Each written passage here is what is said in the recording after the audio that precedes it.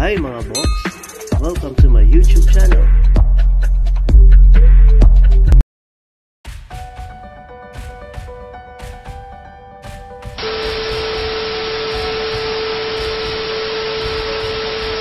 Kung nagsisimula ka pa lamang or nagbabalak pa lang na mag-YouTube, I'm really sure na alam mo na ang salitang sub to sub.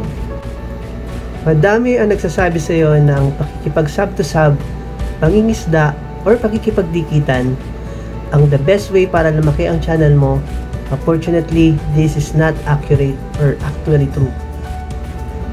Sa video na ito, ibabahagi ko sa inyo why sub to sub is not good idea and why sub to sub is not great strategy. If you really want your channel to grow, instead na ano yung pwede mong gawin to get organic subscriber for your channel. Lahat ng ito ay pag-uusapan natin ngayon. Hi, this is Juan Sapanta and welcome back to my YouTube channel. This channel talks about grows. YouTube strategy. How I build my audience and helping you to grow your channel and you can turn your passion into your craft. If you are interested, please click my subscriber button and notification bell para maging updated ka sa lahat ng videos ko. To make it clear, sinubukan ko din po na makipag-sub to sub para ma-reach ko yung 1,000 subscriber. At paulit-ulit kong sasabihin sa inyo na hindi ako naging proud. Dahil sinubukan kong makipag-sub to sub, I'm not saying na mag-stop ka making sub to sub or tigilan mo nang makipagdikitan. At the end of the day, your channel is not my channel.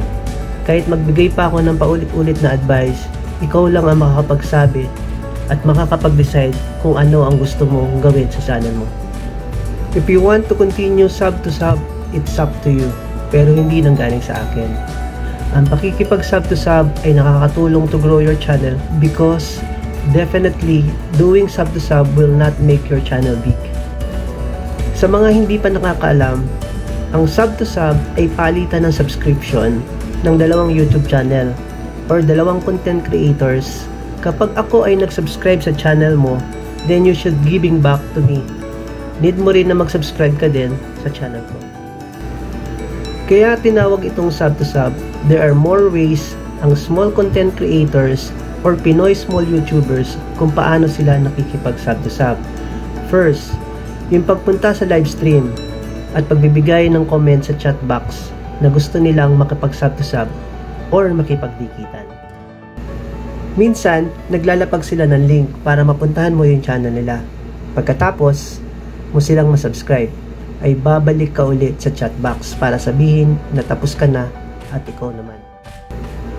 Second way na madalas na ginagawa ng mga small Pinoy YouTubers na gustong makipag-sub to sub is that pupunta sila sa isang video at magko-comment sila na gusto nilang makipag-hug to hug or sub to sub. Hi, hindi pala nila sinasabi ang word na sub to sub. Kasi ang sabi nila, bawal sabihin sa YouTube. Kaya gumagamit sila ng ibang words katulad ng pakibisita nga ang bahay ko or papuntahan mo naman ang bakuran ko, etc. etc. Ang pangatlong way na pakikipag-sub to sub ay sumasali sila sa mga Facebook group na ang intention lang talaga nila ay makipag-sub to sub talaga or maghanap ng subscribers. Tinatawag nila ito na BLS or BLCS which is view, like, and subscribe and then view, like, comment, and subscribe. Ang sobrang dami niyan sa group page kapag naghahanap ka. Marami kang makikita. Kasabihan ng mga small YouTubers that sino pa ang magtutulungan kung di tayo-tayo lang naman. Kaya nabuo po yung paangat program which is directly a form of sub to sub thinking na kapag dumadami na yung subscribers mo at nakapag-subscribe na sila sa iyo ay dadami na rin ang views mo ng videos mo. Where in fact hindi talaga nangyayari yan kasi hindi naman sila nag-subscribe sa iyo dahil gusto nila ang channel mo or gusto ka nila. But because gusto mo lang nilang ma-add ka sa kanilang channel. Ikaw ba ay aasa na lang ba? Dahil subscriber mo na sila? at manonood na ng videos mo. But the sad truth is they will never watch your video and they will never be engaged to your channel or your content. Because in the first place, hindi ka naman nila gusto or hindi naman nila gusto ang laman ng channel mo. Personally and emotionally, you will get frustrated. Kasi meron ka ng 100 subscribers or 1,000 subscribers. Pero kapag nag-upload ka ng videos, ang views ng videos mo ay 0 or 10 or 20, maybe 50. Malamang yung 20 na subscribers mo, sa 10 malamang ikaw lang naman ang nanonood ng videos mo. Marami kang subscribers, pero ang mga subscribers ng channel na yan ay hindi naman nanonood ng mga videos ng mismong channel.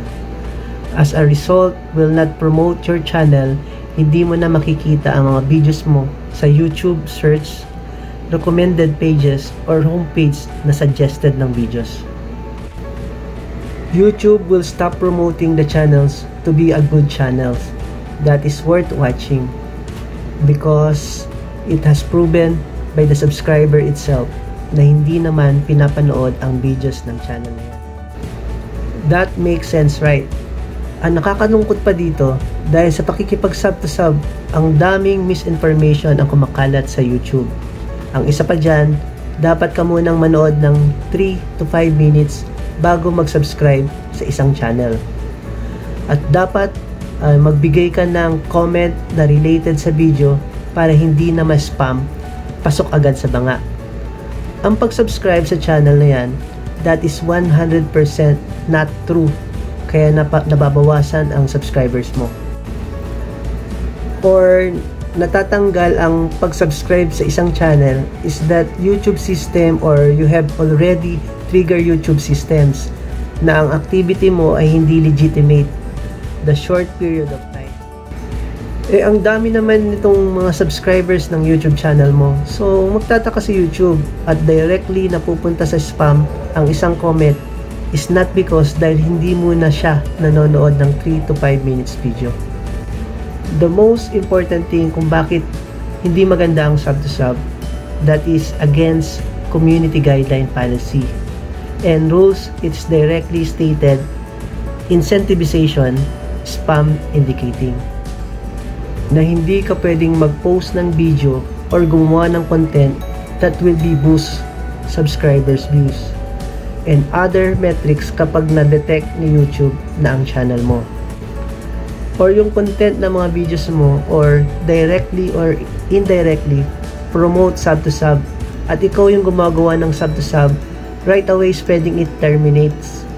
Ang channel mo at ang lahat ng pinaghihirapan mo ay mapupunta lang sa wala kasi i-delete lang naman nila ang channel mo. I hope you like this video and if you do, please give me a thumbs up and I hope you are having a wonderful day today and I see you all in my next video. Till next time, bye-bye!